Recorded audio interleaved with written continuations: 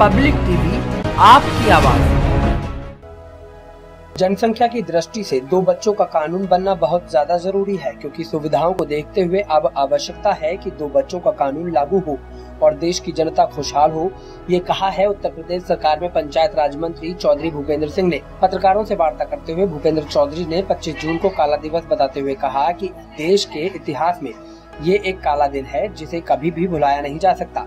उन्होंने कहा कि जो कांग्रेस के नेता लोकतंत्र की दुहाई देते हैं, उन्हीं की नेता तत्कालीन प्रधानमंत्री इंदिरा गांधी ने लोकतंत्र की हत्या की थी और नागरिकों के अधिकारों का हनन किया था।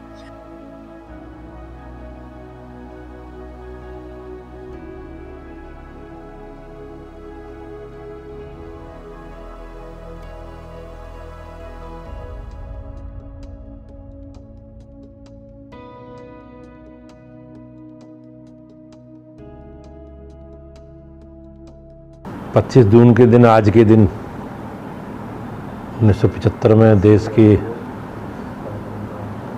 प्रधानमंत्री ने जो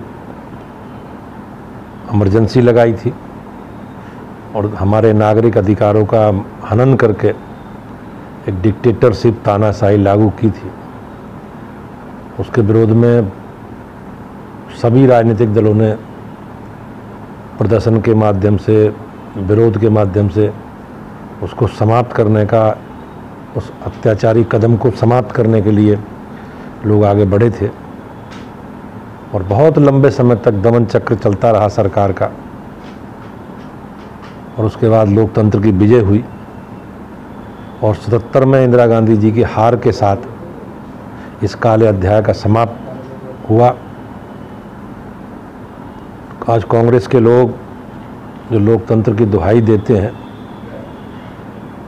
आज ही के दिन लोकतंत्र को ख़त्म करने का, कुचलने का काम कांग्रेस की नेता, प्रधानमंत्री तत्कालीन इंदिरा गांधी जी ने किया था। लेकिन देश के लोगों के संघर्ष का परिणाम था कि लोकतंत्र मज़बूत हुआ और इंदिरा गांधी जी को जनता के आगे, जनता के निर्णय के आगे झुकना पड़ा। तो आज हम सब लोग काला दिवस के रूप में आज इस दिन को मनाते हैं।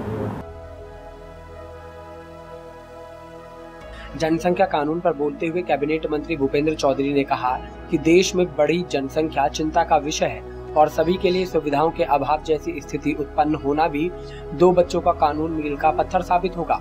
उन्होंने कहा कि जो प्रदेश में सुविधाओं का अभाव है, उसमें बढ़ती जनसंख्या की अहम भागीदारी है।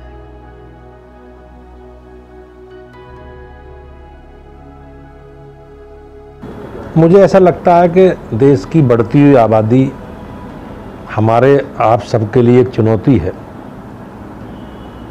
और उसके कारण संसाधनों का भी अभाव जो देश की, प्रदेश की आवश्यकताएँ हैं, उन आवश्यकताओं में भी कहीं ना कहीं आबादी भारी पड़ती तो मेरा निजी मत है कि हम लोगों को बढ़ती हुई आबादी देश हित के लिए, अपने समाज के हित के लिए इस पर नियंत्रण करना चाहिए। समाज को जागरूक होना चाहिए। उसके लिए प्रयास करना चाहिए। और सरकार को अगर बहुत आवश्यक हो तो निश्चित रूप से कानून भी बनाना चाहिए।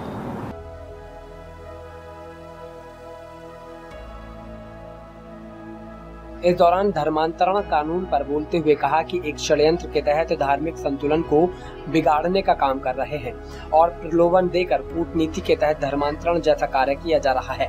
उसके लिए उत्तर प्रदेश सरकार प्रतिबद्ध है और उनके खिलाफ कार्रवाई की जाएगी और उनके खिलाफ एनएसए की भी कार्रवाई सरकार करने जा रही है।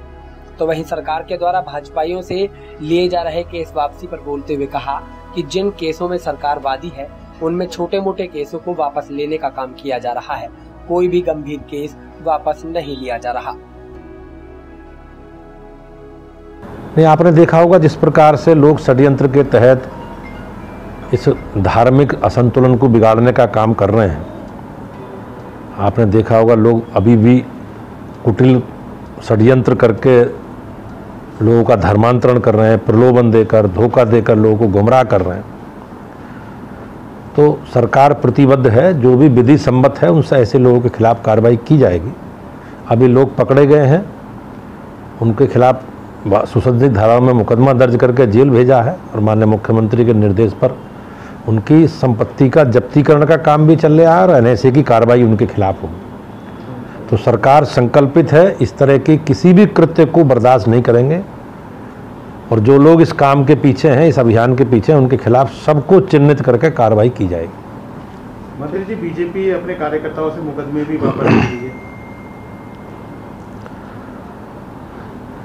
जिस जो जिन धाराओं में जिनमें सरकार वादी है और कोई गंभीर अपराध नहीं किए हैं छोटे मोटे आंदोलन के केस हैं उस तरह के केस वापस हुए हैं और पूर्व में भी होते रहे लेकिन कोई गंभीर धाराओं वाला केस ऐसा नहीं है जो वापस हुआ हो। और पुरानी सरकारों का अगर आप ध्यान दिलवाएँगे पुराने लोगों को तो उन्होंने आतंकवादियों ने जो आतंकवादी घटनाएँ की थी, कलेक्ट्रेट में, कचहरी परिसर में, अन्य धार्मिक स्थानों पर जिन लोगों ने बम विस्फोट किए थे, समाजवादी पार्टी की सरकार ने उनके केस वापस लेने के लिए प्रयास किया था, लेकिन माननीय उच्च न्यायालय की सक्रियता के कारण ऐसा संभव नहीं हो पाया। हमारी सरकार ने तो जो बहुत प्राथमिक मामले में जिनमें दर्ज हैं उनमें केस कहीं कहीं वापस लिए हैं कार्यकर्ताओं के खिलाफ। धर्मांतरण के जो मामले आ रहे हैं पहले पूर्वोत्तर राज्यों में ज़्यादा आते थे अब इस बार लखनऊ में भी अपने राज्य में भी दिखे तो कहीं लगता है कि पॉलिटिकल इंटरफेरेंस भी हो सकता है इस तरीके के नहीं इस विषय में मैं उस दृष्टि से नहीं देखता। मेरा कहना यह है कि इस तरह के कृत्यों के खिलाफ सबको खड़ा होना चाहिए। किसी को प्रलोभन देकर धोखा देकर उसका धर्मांतरण कराना ये देश के लिए कहीं ना कहीं देशद्रोह का देश विरोध का काम है। और सरकार माननीय मुख्यमंत्री जी के नेतृत्व में उन सब विषयों को रोकने के लिए संकल्पित है। हम विधि सम्मत कार्रवाई, जो भी है, कार्रवाई करेंगे, कठोर कार्रवाई करेंगे। और आपने देखा होगा, सुसंगित धाराओं में मुकदमा दर्ज करके उन्हें जेल भेजा है और उनके खिलाफ एनएसए की कार्रवाई भी की जाएगी और उनकी जो संपत्ति है उसे भी जब्त किया जाएगा। और इधर विपक्ष एलिगेशन लगा रहा है कि बीजेपी जो है जिला पंचायत अध्यक्ष के लिए धन पशुओं को दे रही है। इस तरीके का एलिगेशन विपक्ष का है। मेरा जितना ऐसा मत है कि भारतीय जनता पार्टी हम लोग अपने कार्यकर्ताओं की सक्रियता और उनके संपर्कों के आधार पर और अपनी पार्टी के नेतृत्व के द्वारा, सरकारों के द्वारा जो काम किए हैं उसके आधार पर हम लोग चुनाव सामान्यतः लड़ते हैं। हमने पंचायत चुनाव भी पिछले चार साल में माननीय योगी जी के नेतृत्व में जो सरकार ने काम किए, उन्हें आगे रखकर अपने कार्यकर्ताओं की सक्रियता के संपर्क के आधार पर चुनाव लड़ा है। लोगों ने हमें बहुत स्नेह और सम्मान दिया है। और भारतीय जनता पार्टी के कार्यकर्ता ही जिला पंचायतों के अध्यक्ष बनेंगे। आप उसका आंकलन अपने आसपास कर सकते हो। अगर आप कहोगे तो मैं गिना दूँगा। हमारे यहाँ कोई धन पशु नहीं है। हमने कोई बाहर से आयातित करके किसी को नहीं लड़ाया। सभी हमारे कार्यकर्ता हैं और हमारे कार्यकर्ता निश्चित रूप से जीत कर चुनाव में आएँगे। किस, क्यों लगा रहा है सर? विपक्ष इस तरीके के एलिगेशन को? हाँ। नहीं हताशा में है उन्हें लगता है जब आदमी पराजय सामने दिखाई देती है तो सहजता से तो लोग पराजय स्वीकार करते नहीं। वो कहीं ना कहीं विषय को घुमाने की लोगों को गुमराह करने की बात करते हैं। अब आपने मंडल में पाँच सीटें हैं और पाँच सीटों में भारतीय जनता पार्टी के प्रत्याशियों का आकलन आप करो और तब इस विषय को आगे बढ़ाओ। पब्लिक टीवी आपकी आवाज़।